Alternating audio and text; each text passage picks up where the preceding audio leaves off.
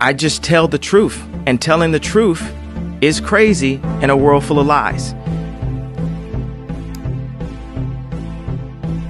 If you mix brilliance with bravery, that we can ignite something. Even this conversation alone can ignite the people.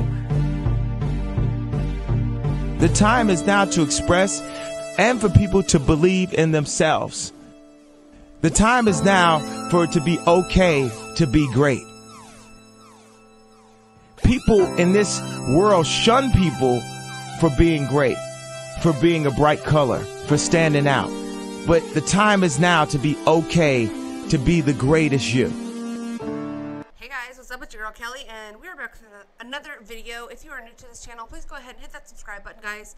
If you are into true crime stories, news, and political commentary, I think you will enjoy the channel, and I would appreciate it very much. Whatever you can do, like the video, give us a comment. It really does help me out a lot, and I very much appreciate each and every one of you. And if you're not new to the channel, you're a returning listener or subscriber, thank you so much for being a friend, guys. That means a lot to me, and I really do appreciate y'all so much as well. So, I wanted to jump on here, guys.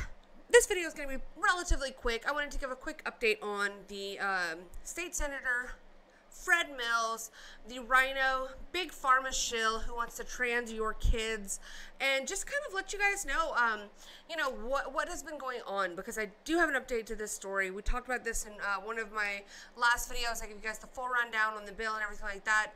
And um, I actually had a, I finally was able to get in touch with his office and I had a phone call with his uh, assistant or whoever his spokeswoman. And so I wanted to play that call for you guys here today. I'm going to debunk some of what she said, give a little bit of um, you know, just push back on that because everything everything that was uh, released as his so-called statement was utter bullshit and word salad. And I was able to actually very easily go through and find um, proof to counter his little narrative that he tells himself so he can sleep better at night, uh, knowing that he's pushing this T agenda. So let's get into it, guys. Without further ado, uh, I'm going to play the phone call for you guys, and then we're going to go through and debunk everything. Okay? So here we go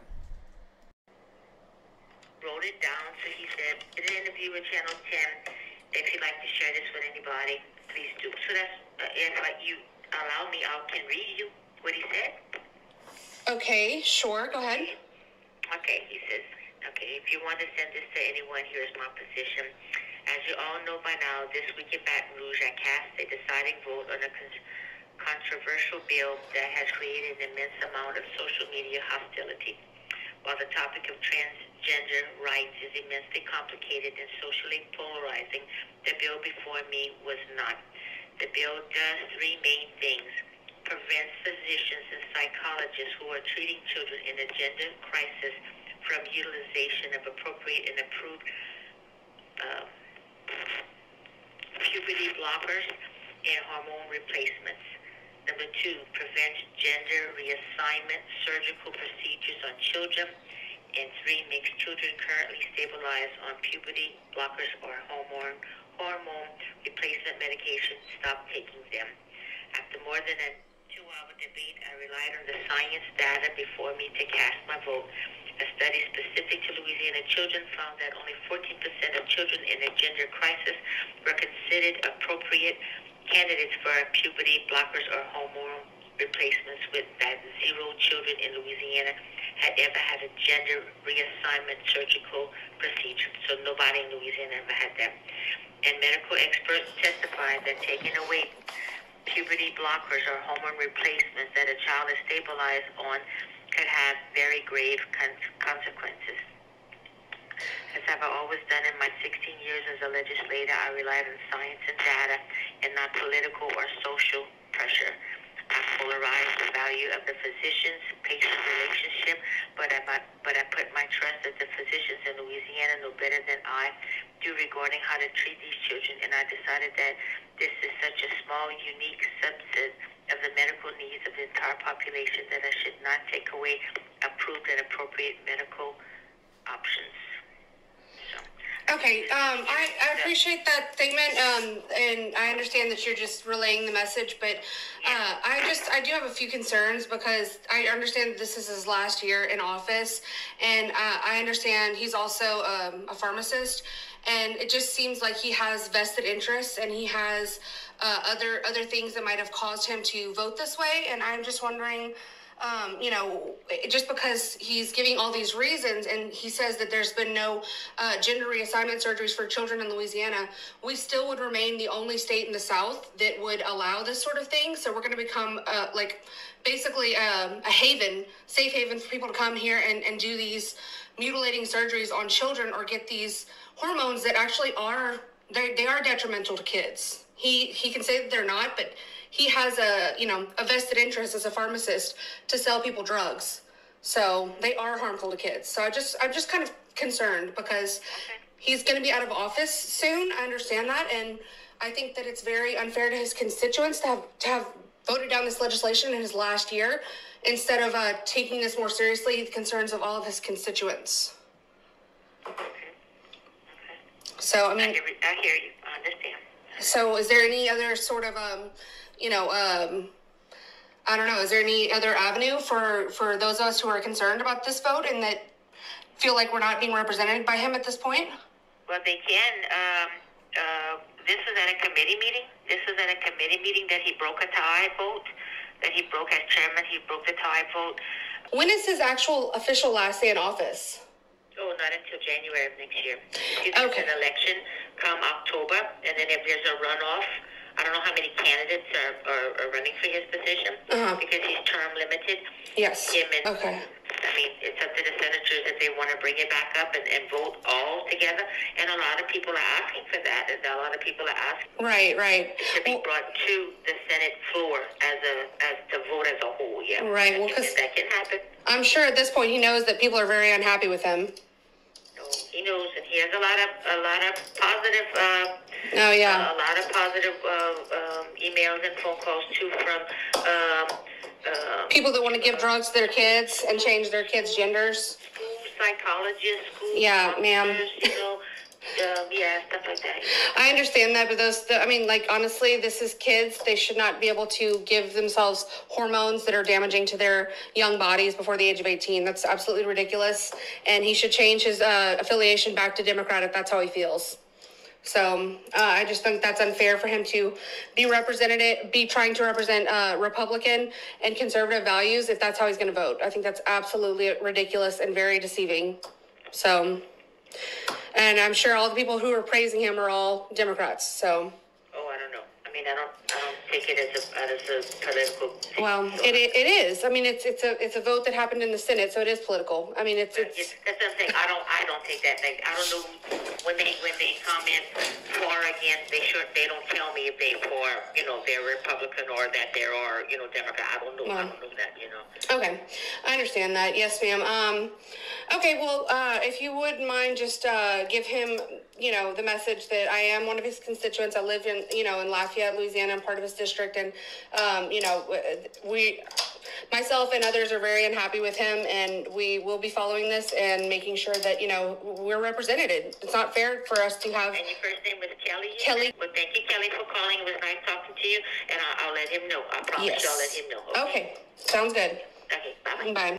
Okay, guys, so yeah, as you can see from that call, um, just, I mean, utter bullshit, honestly. Everything that she was saying, uh, she was reading off of a, a written statement, first of all, that he had uh, time to actually sit there and um, write up, you know, had time to think about this because he was getting a lot of pushback and he still is. She tried to write it off as like saying, oh, well, he's getting a lot of support too. Yeah, He's a registered Republican who's getting a lot of support from leftist Democrats. So tell me how that actually serves anyone. And I'm sure a lot of the people who are actually praising him or giving him compliments aren't even people who live in his district or are his constituents.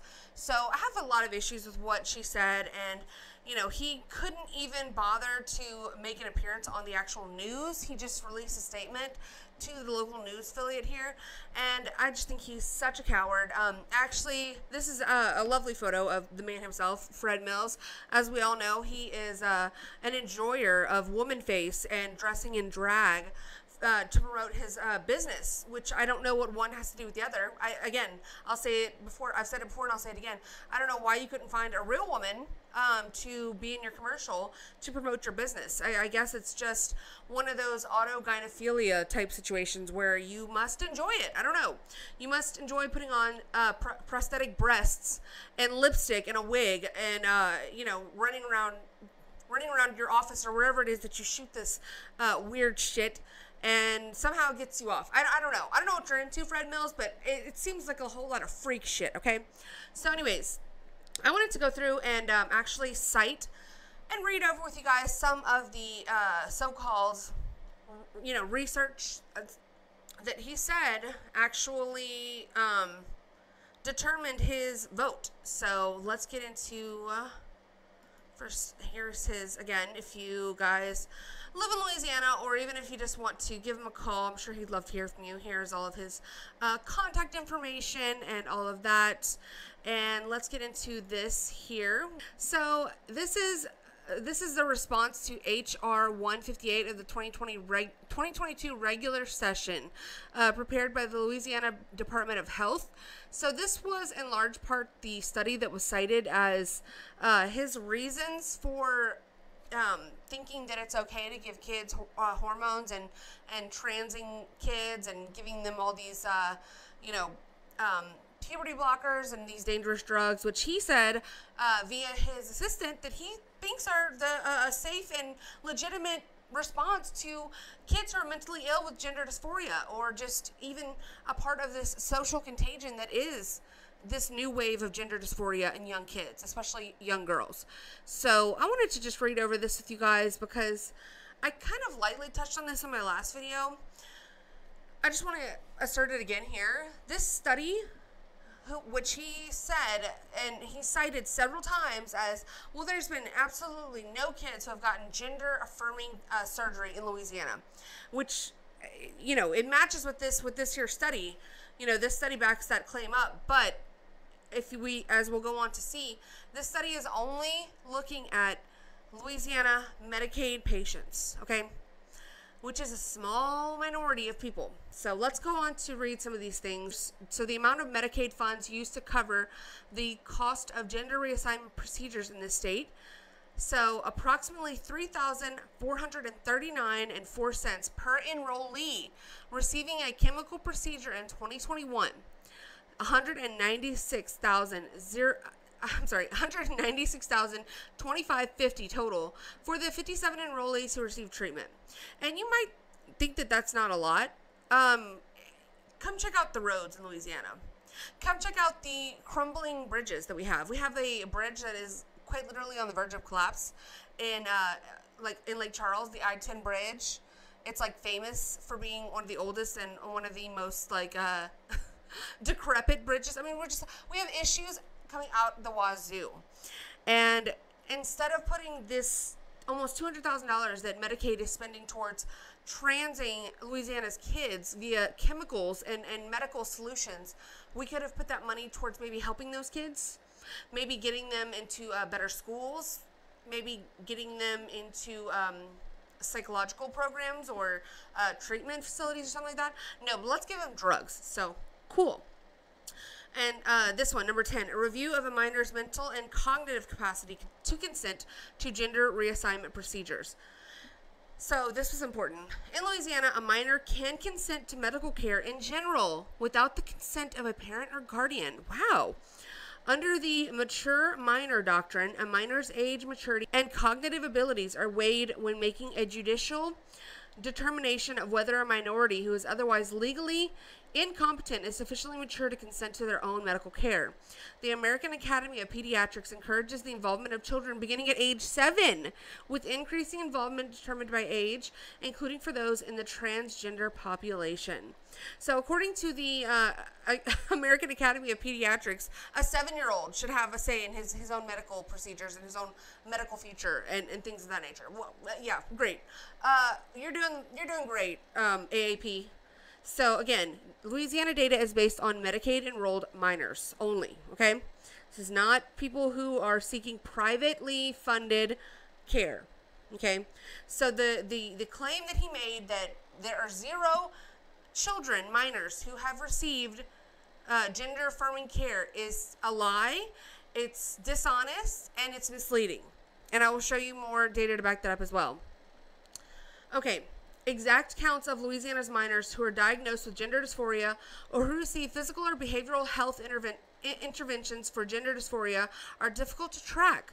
However, because patients and their providers may use multiple health systems, insurance carries, and or self-pay services. Okay. Therefore, for the purposes of this report, estimates of the numbers of minors and providers receiving or providing care related to gender dysphoria were limited to Louisiana Medicaid members for whom administrative data is available. Okay. So, yeah. Fred, you could you could have been a little more specific and actually uh, admitted to what it was that you were re- referencing and and understanding that a lot of these kids who are Medicaid are poor kids, and as this study goes on to say, uh, a lot of the kids who receive gender affirming, what they call gender affirming surgery, or just you know mutilation is what I call it, um, are like wealthier white children from a more uh, prominent like family structure. So most of those kids are probably paying through private insurance or even out of pocket. So really, you don't know what the f you're talking about. Okay, Fred, Freddie. So annoying. Okay, moving on because I don't want to. I don't want to make this too long, guys. But I, I did just want to like come and counter his everything that that woman told me because it it was ridiculous, and I just thought it was so stupid for her to just sit there and read that out to me and think that that was gonna be like, okay, fine, yeah, oh, well, oh, as long as he said that, okay, ma'am, as long as you have a written statement from him, then I guess I'll just go away. I'll just, I'll just, you know, squelch my uh, concerns and complaints. Okay, you got me there, ma'am. no. So this table I thought was very interesting as well because here they're saying the quiet part out loud uh, about mental health counseling and minors experience gender dysphoria and thought this column here was the most interesting. And it was talking about enrollees with gender dysphoria and suicidal ideation. Okay, so from 10 to 14 age bracket, 25 of the 67 enrollees with gender dysphoria had suicidal ideation. 36 had depression. Of the age bracket 15 to 17, 76 enrollees. 18 had suicidal ideation, 32 had depression. So that is out of a total of, for everybody 154, 43. So that is about what? About a third, a little bit under a third of the kids who claimed they had gender dysphoria also had suicidal ideations. That is scary and that it should be an alarming data point for anyone, okay? And we should be asking questions about that. So, why then are we so quick to give children, minors, who are claiming to be gender dysphoric and with whom a third have either uh, suicidal ideations or this number, which is a little bit under half, 44.8% have depression. We're going to pump them full of medication and hormones and chemicals. Make it make sense. And that's just from 2017, okay? So it goes up from there. In 2018, in the age group 10 to 14, 78 enrollees. 35, which is 44.9%, had suicidal ideations. 69% had depression. Okay, in 2019, 117 enrollees, 49, which is 41.9%, had suicidal ideations. 61.5% had depression. 2020, 134 enrollees, 62, which is 46.3%, had suicidal ideation. 85 uh, or 63.4% had depression. And in 2021, and you guys notice this number increasing ever more, ever more, ever more. And then we have a huge spike from 2020 to 2021 from 134 enrollees in the age group of 10 to 14. Okay, 10 years old, guys. 10 years old claiming that they are the wrong the wrong sex, okay? 10 to 14 years old. It went from 134 children in this state to 269. And then less than 10 years old, I mean, that number kind of stayed stagnant a bit, but like 10 less than 10. So we have nine year old, eight year old, seven year olds. who are claiming to be gender dysphoric. So great. I mean, this data is scary to me. I don't, I don't see how somebody can look at this and think, "Oh, yeah, this is this is fine." I guess you know we'll we'll we'll let them take drugs. Fuck it. Um, so again, 2021 in the age bracket 10 to 14, 269 enrollees, and that is more than the 15 to 17 age bracket. I mean, that's this is a scary number to me right here. This is like very alarming, and um out of the 269, 49%, 132 kids had suicidal ideations in that in that age group, okay? 10 to 14 year old had suicidal ideations and gender dysphoria. Hmm, is there a link there? I don't know. And then 184 or 68.4% had depression. 10 imagine you're 10 to 14 year old child being depressed with suicidal ideation and thinking that they're the wrong sex. And your first thought would be to go and pump them full of hormones or chemicals or chop their breasts off. I mean, hello, Earth to Matilda. Earth to Matilda. You know what? Can we just cut it out with all the earth too? I mean, am I am I crazy? Am I crazy? So yeah, very um, alarming data in my opinion. I don't know. You guys tell me though. It, it, does it alarm you? Does it set off any alarm bells in your head? So I want to read a few more sections of this, and then we'll move on. The majority of participants in the studies were white, of higher socio eco- socioeconomic backgrounds, and many studies with larger sample sizes or longitudinal data were conducted in European countries with national healthcare systems. The included studies are such as such are unlikely to represent the transgender and diverse gender diverse population of youth in the US. Yeah. Great. Uh, so relevant outcomes included suicidality, body image, anxiety, and depression, and that is uh, minors who have undergone gender reassignment procedures. Well, I thought there were none. So what, what are you referencing, study? Mm, weird. And there are obviously um, the sources are at the bottom of this study, but you guys can look this up if you want to. Uh, three individual studies not included in the SRs reported uh, psychological outcomes after any hormone treatment compared to a group of transgender or gender diverse youth not receiving treatment. Levels of depression. Uh, 95% confidence intervals and self harm or suicide thoughts improved while severe anxiety did not. So this is showing. This is basically saying that some of these things, uh, you know, depression and and um, you know whatever, like confidence and all this shit, like might have improved, but anxiety itself did not. So that that should also tell you something.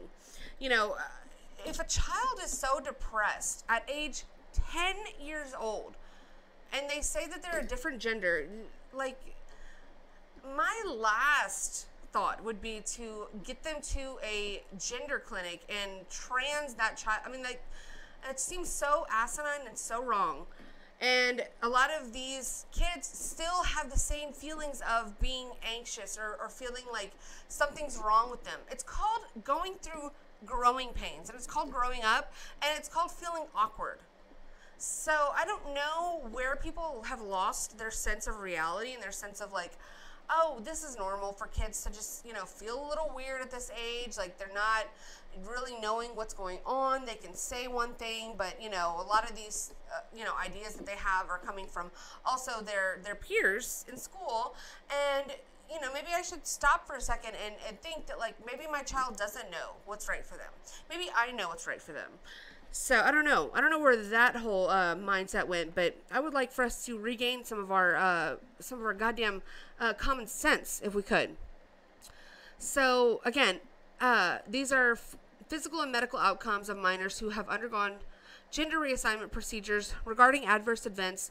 Studies reported on bone density alterations, but not fractures. Oh, whew, thank God, no fractures. Whew, only their bone density. You know, like these um these boys who are taking estrogen. Estrogen does severe damage to your bone structures.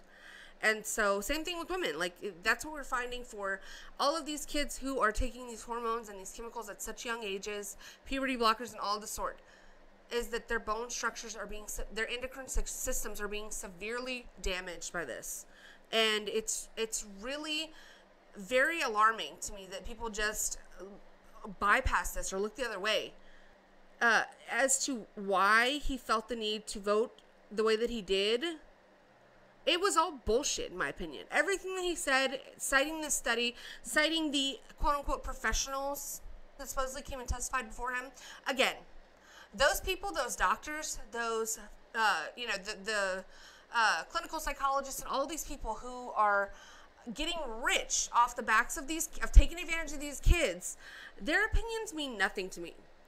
And for him to say that, like, oh yeah, you know, I, I listen to science. I don't make this a political decision. Well, guess what? You're a damn politician, you little twat. You are not a scientist, okay? If you want to be a scientist, go back to your little pharmacy and be a damn scientist. You're a politician, so guess what you answer to? You don't answer to science, you answer to your constituents who voted you in to that seat. You freaking idiot. That just pissed me off. Like listening back to the phone call, I wish I had thought of that whenever I was on the phone with her because it's like, hello, what do you mean you listen to science? No, you don't. And if you don't, then you'll be voted out. But guess what? You're such a little pansy that you wait till your last year when you have no chance to be voted out to really like show your true colors. So, Fred Mills, you're a joke. You are an absolute joke. So I wanted to show you guys this. This is um, Ochsner Health, which is the main um, like hospital network, I guess you would say, where they have like one of these in every like major city. And uh, you know, I did a quick little search on Google, you know, for somebody who says that this is not happening here, and it's such a small you know population of kids that you know I really didn't think it was fair to to uh, vote in you know against their interests if that's what they want to do and their physician thinks that's right well then why is Ochsner Health promoting LGBTQ healthcare for not only uh, men and women, but LGBTQ youth, pediatric gender affirming services. Um, he- hello, Fred Mills. Fred Mills. That's weird. The multidisciplinary gender clinic involves medical and behavioral health professionals that work together to provide education, support, and create in- individualized treatment plans for our patients and their families. Our medical provider is a pediatric endocrinologist who specializes in care for transgender and gender diverse youth. Wow. Amazing. So it doesn't happen here in the state, does it? Well, that's uh, not what Ochsner has to say. And don't make me call them, because I will.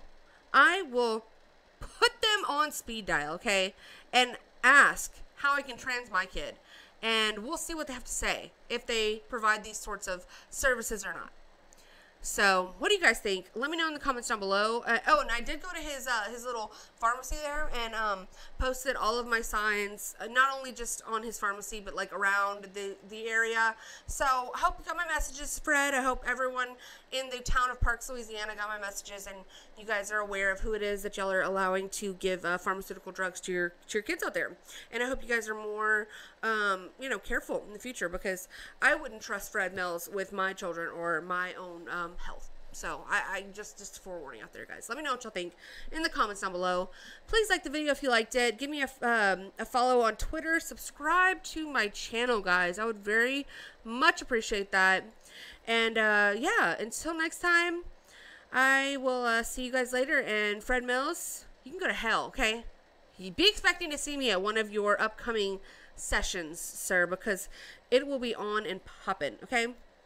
Uh, so yeah, guys, until next time, we'll see you later. Bye. I just tell the truth, and telling the truth is crazy in a world full of lies. If you mix brilliance with bravery, that we can ignite something, even this conversation alone can ignite the people. The time is now to express and for people to believe in themselves. The time is now for it to be okay to be great. People in this world shun people for being great, for being a bright color, for standing out. But the time is now to be okay to be the greatest you.